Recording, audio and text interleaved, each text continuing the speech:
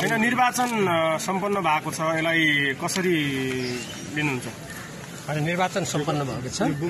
अब मैले निर्वाचनमै जानुपर्छ भन्ने मेरो धारणा थियो। अ, त्यो चाहिँ निर्वाचन भएकोमा त्यो मेरो धारणा अ, अनुरूप नै भएको भन्ने ठानेको छु।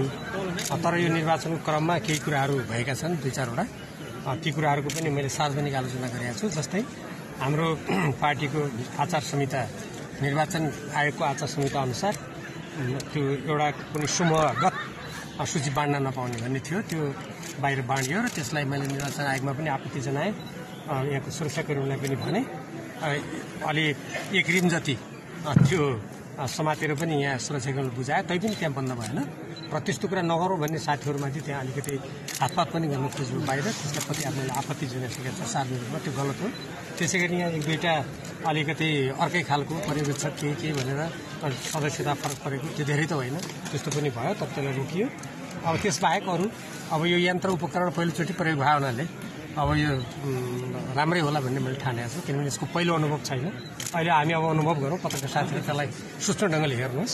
अहिले यसको व्यवस्थापनको पक्षमा मेरो कुरा यति नै हो। अब मतगणनाको लागि अहिले भर्खरै कमसेकम अहिले अन्तिम कुरा त आउनु बाँकी छ। तर यो मेरो कुनै अन्तिम तथ्याङ्क होइन है फेरि। किनभने तर मोटामोटी दुई हजार बयानब्बे मोटामोटी त्यस्तो खसेको भन्ने मैले त्यहाँ जानकारी प्राप्त गरेको छु तर त्यो प्रत्येक यन्त्र उपकरणबाट कति भयो त्यो जोडेर ठ्याक्क निकालेपछि मात्रै त्यो अन्तिम हो भन्ने हुन्छ।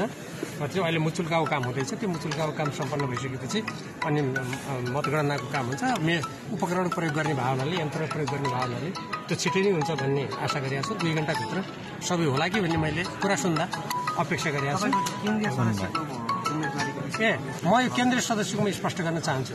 हाम्रो यो निर्वाचन आयोगसँग सबै मैले के सोधेको थिएँ भने म त अध्यक्षको उम्मेद्वार हुँ। त्यसबाहेक मेरो अरू कुनै पदमा उम्मेदवारी पर्दैन भनेको थिएँ मैले। अनि त्यसमा मैले के जानकारी प्राप्त गरेको थिएँ भने तपाईँले अध्यक्ष र अर्को सदस्य दुइटै भन्नुभयो भने त्यो दुइटै हुन्छ। होइन भने जेमा हुन्छ त्यसमा मात्रै भनेको थियो